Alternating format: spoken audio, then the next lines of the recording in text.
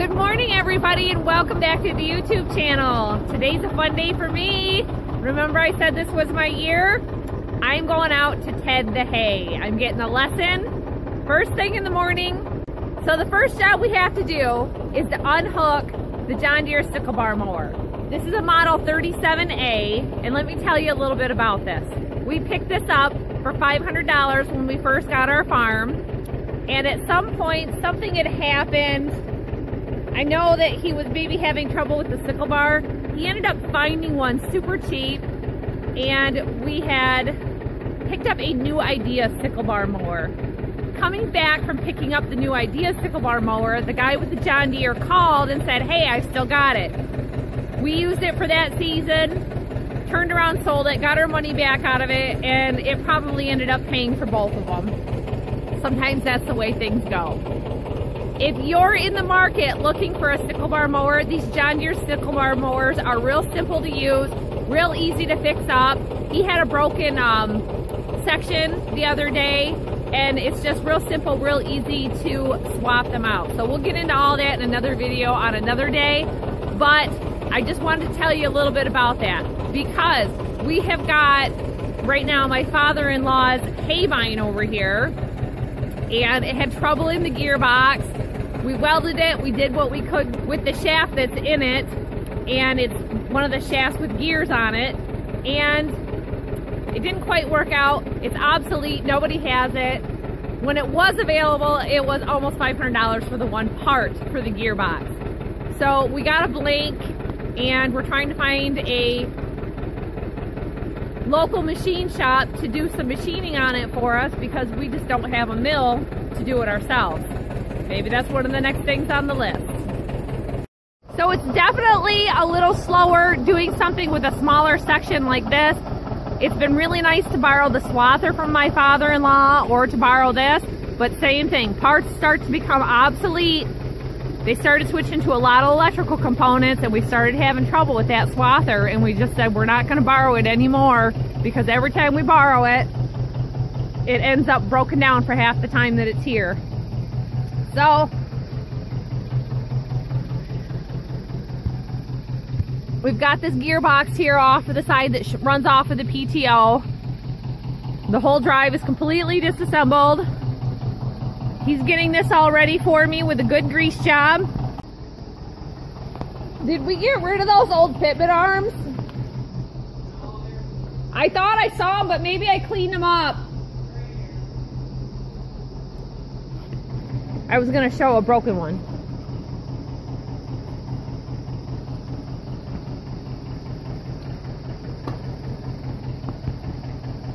So make sure, this is something we do every time we go out to the field, is the bolts that hold this on get tightened up every time we go out to the field because they tend to work their way loose and then you end up with everything running through here because it's at such a high RPM that it just shatters. Sometimes they'll snap in half. That's the John Deere part number. They still have them. It's H28286.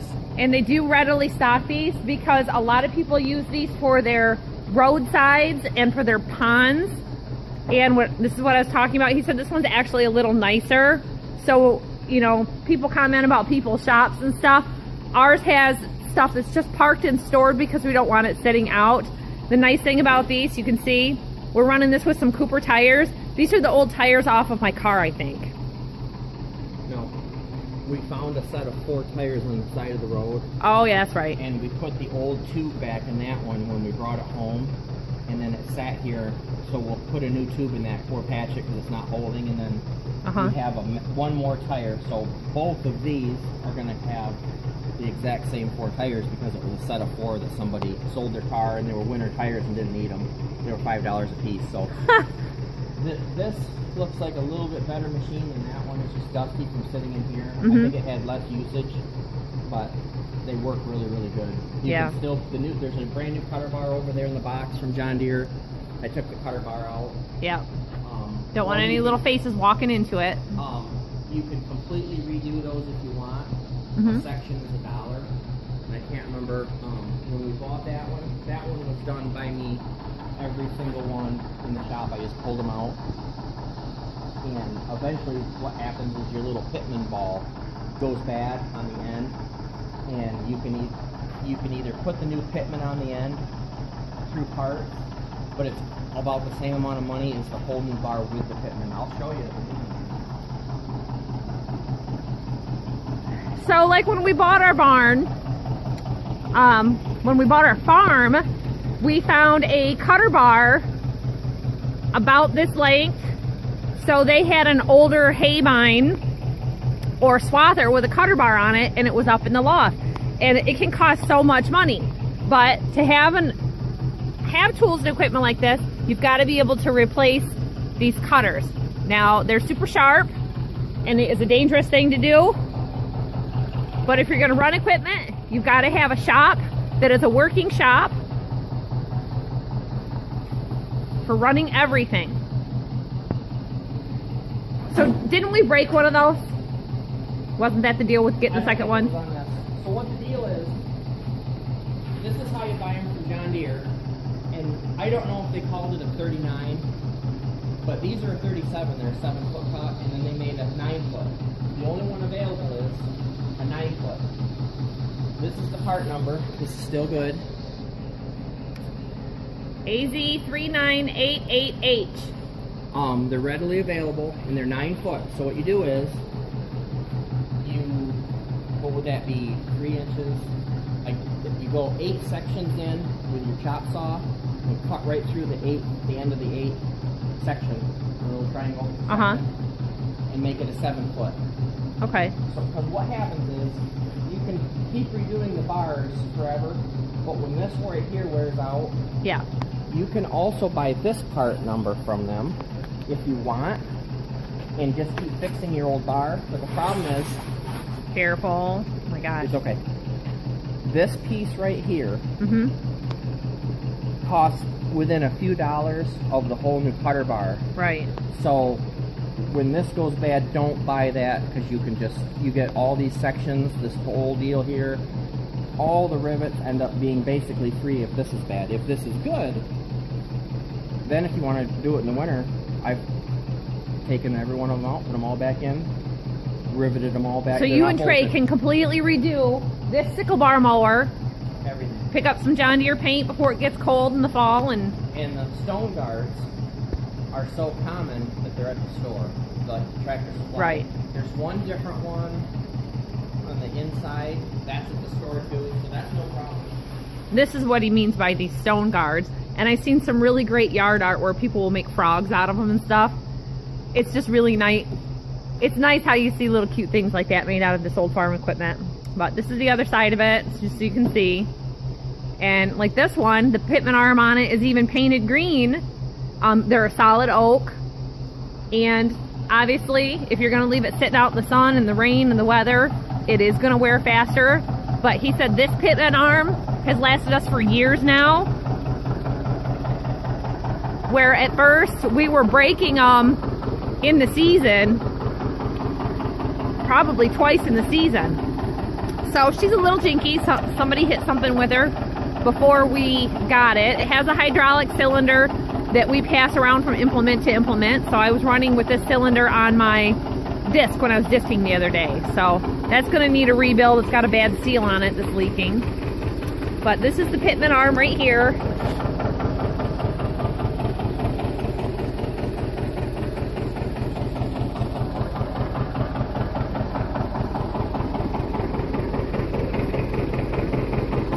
So we're gonna get this part disconnected. Before I interrupted him, he just about had that ready for me. The nice thing about the tedder, uh, the sides go up for transport. And did you see him just undoing that knob? That makes it so that can swing in easier for transport or for trailer loading.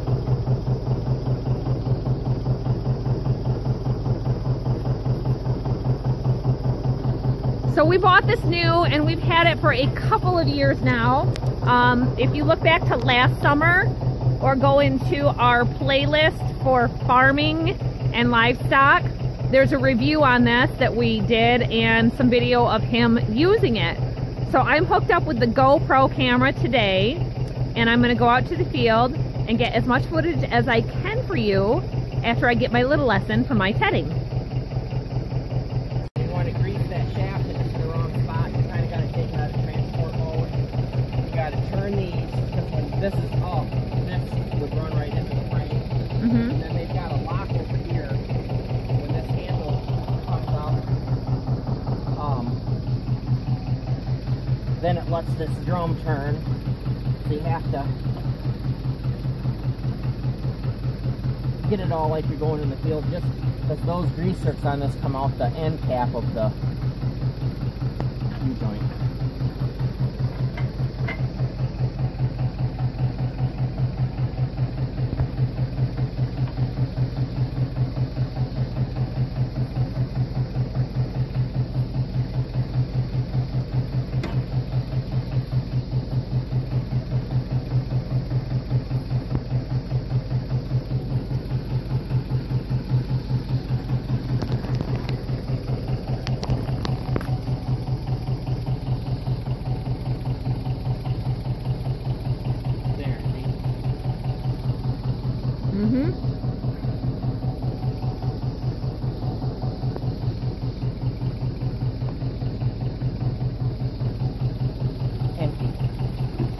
Oh no.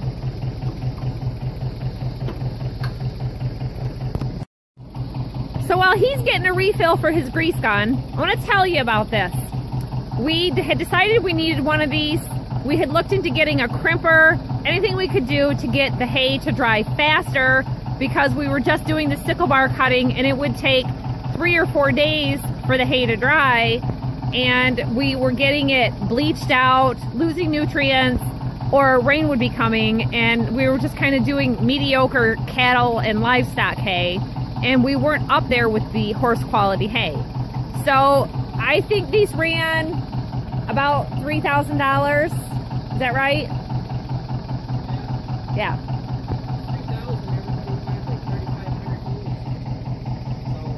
Yeah. So what we ended up doing is we called around um, several different dealers. We wanted to do quality horse hay so that we could have hay sales from the farm and have a cash crop. So we invested in the tedder. It was a good way to go. Um, the next thing that we got, actually I think we ended up getting it before it, we got a haybine. And of course haybines, gearboxes, cutter bar troubles, all, all these other things that that haybine got used uh, partial season. So we were able to pick this up late season for cash at a discount. I know we're getting into the end of haying season. People are already doing second cutting, which is very late for this time of year. So third cutting's coming up. If you're needing a tedder, start looking. You might be able to get a cash discount or a late season sale. So for a little added safety, we always keep a heavy bungee strap on these. And I wanted to show you how he's doing this there's kind of a two-part deal here with this. You don't want to get it in this middle section. Give that a good hook right there. Just to make sure that that doesn't fall down. You know, we've got kids around. We just try to do everything we can for a little additional safety because sometimes those can disengage and tip over.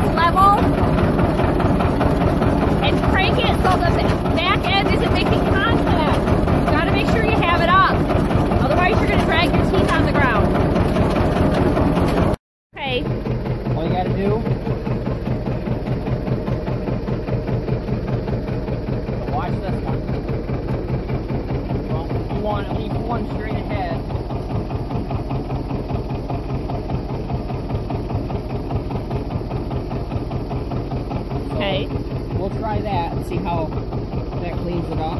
Yeah. And then if you need to adjust it again, that's all there is to it. Okay. Hop on.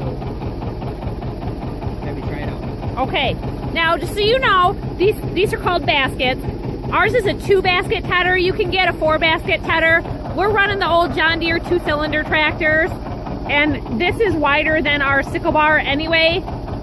There's no need to try to hurry up and do it any faster because it's already really fast and efficient. We're doing this in the morning while it's still uh, moist so that you don't get leaf shatter. If you let it sit here for too long, you're gonna lose all your value of these leaves because they're gonna go flying off as they fling out and then afterwards you come in and rake it and bale it. Okay, now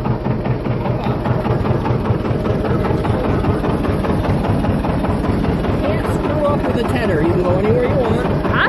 Any. Stay out of fences. You can turn around and go right right through where you already went with the tedder. Doesn't matter. Huh? Okay. So the only thing you gotta watch, any place I was starting to plug, and you'll turn around, you'll see a big clump. You gotta clutch it. This has a this has a slip clutch on it. Bang, bang, bang, bang, bang. So get to a big pile. We'll find a big pile somewhere, and I'll, I'll show you how to ease into it. Okay. And then when they're real huge, you might just want to drive through the other way and hit them again. It's just all you're doing is scattering it out and just letting the air get all under it. That's okay. The only other thing there is, you can't turn too sharp. The tires can hit that, so you, you never turn too sharp. It's easier on your drive shaft. Okay. So, two, three, four.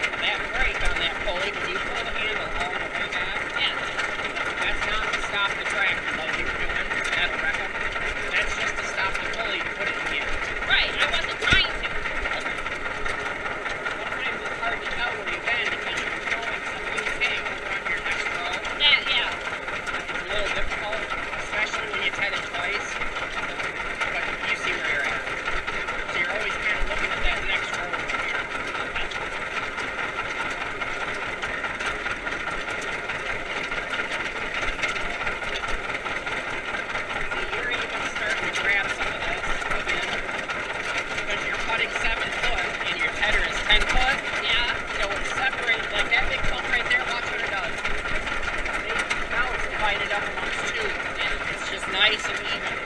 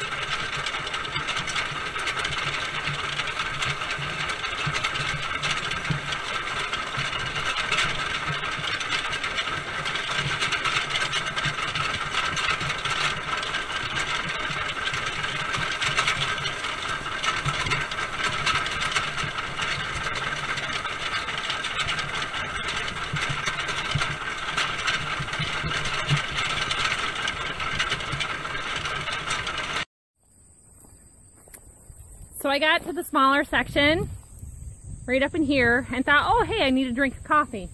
And thought, I'm to lose this coffee cup. And I went to go sit it down on the little spot by my feet. Really need a cup holder for that thing. We love these Contigo uh, coffee mugs. They've got a snap top so that you don't spill if it tips over.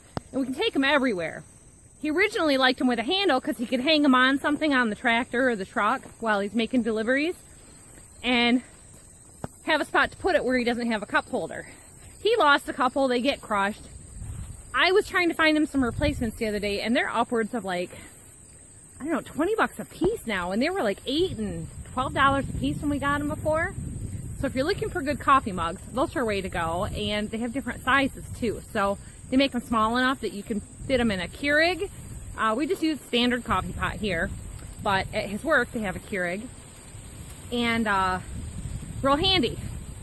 So I got my coffee all situated and I realized I had my sweater on. I didn't put my phone in my back pocket, which can be dangerous. You could lose it. I put it in my sweater pocket right here. It was gone. Okay, I made like seven or eight passes around the outside of this field before I started to the center and I grabbed, I went to grab my phone because I was going to film. Gone.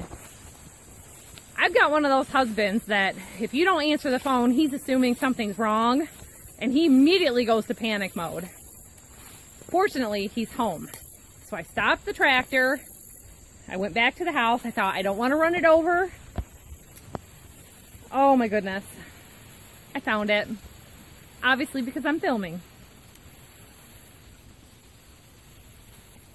Now, a lot of times during the night, I turn my ringer right off so that like the low battery doesn't beep and wake anybody up. And last night, I had it charging in my room instead of in the kitchen. Oh my goodness. I thought I'm to walk this whole field. I was on my fourth section of the field out of five and I would just stop about, I don't know, every 25 feet or so. I had called my phone 15 times with my husband's phone, hoping my ringer is on. Thank goodness it was because it was so buried. There's no way we were going to find it until we either raked hay or baled the hay. And then it would be gone. And I remembered I checked the weather yesterday and it said 50% chance of rain for today. I don't know why we're doing hay. I don't think he checked the weather. And he checks AccuWeather and I check weather.com. I have their app on my phone because it's pretty fast and I can click in what zip code for whichever field we're working in because we've got land, you know, in different areas and sometimes we'll work with his dad, which is, you know, 45 minutes away.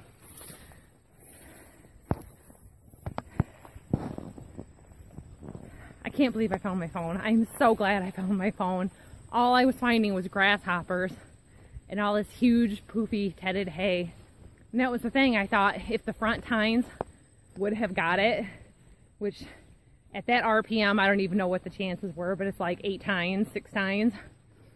It could grab it and fling it and shatter it.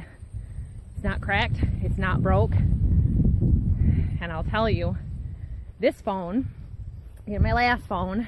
I run older phones because I don't care. As long as it's connecting me to the internet. And that's the thing. we found we can buy a replacement phone on eBay. Well, I can't go get a phone on eBay because the Suburban is broke and this phone is our internet. So we use it for the Wi-Fi for the whole family. Total luck out. Total and complete luck out to have walked that much of that field. So I think I'm gonna grab some toast and have a little something in my belly because you can see the sun is way higher now. I got to get back out to that field. So he was going to put the charger on it and let it charge up. Kind of generator issue. I don't know. Oh, my son's watering the cows. He's like his mom. Let him overflow. Swap this hose out. Yeah, it's running. He's over there riding his bike.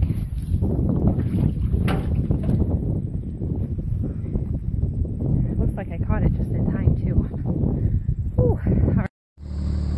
Well, the hay tedding went mostly very well.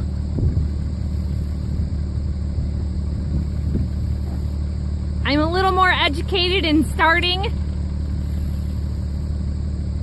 the tractor with the pony motor. It tends to like to stall out on me if I am trying to leave a field in the wrong gear. So I got a little practice at that. So he came out later in the day and got it all in the rows. We had checked the weather, found out it was supposed to rain this afternoon around 2. It's been bumped up to 1. So he came out this morning and started doing some baling. It's still a little damp from the night dew, so he stopped at, you know, like 100 bales so that we can get a full stack wagon. If that stack wagon isn't fully loaded, you have to hand unload it. And, you know, even 30 is just a pain in the butt because it's been repainted and it's slippery. And once you add hay onto it or straw, it gets hard to stand on. So it's just better to have a full load. So he's gonna let this just dry for a little while longer and do alternating loads of bringing me back a load of bales unload it, come back with the baler, do another 100, just till the kind of morning wetness dries off a bit. You know, you can see with the position of the sun, it's gotta be, I don't know, close to 11 at this point. Maybe it's 10. We started out early this morning thinking that we needed to get a head start on this, so I've been making some space in the barn after my clean out. I had a lot of things kind of sitting in the center taking up space. And if I can get it in there before a rain without waiting for him to put it up in the loft, then we're gonna be several hundred bales ahead of the rain.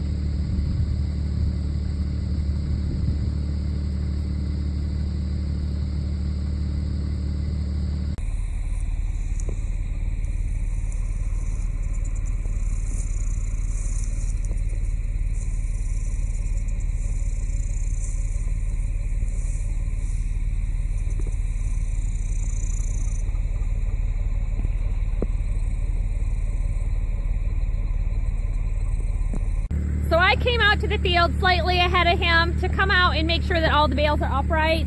Uh, some of the bales, if they're down on their sides with the strings standing up, it won't pick it up. They've got to be up on their sides or their ends. So I just go through, make sure they're kind of lined up in a row, that they're not too, you know, scattering around if they're not going to line up right. Uh, some of it, because it was a little damp, as he was baling, sometimes it wouldn't kick out the first bale with the second bale coming behind it. They'd get intertwined. So I went through with my knife and made sure none of the bales were tied together because occasionally two bales will kind of come out together because they'll be intertwined with some of the stems kind of, the alfalfa just gets kind of carried over from one bale to the next if it's too damp. So he's gonna get this all picked up. I gotta go back there.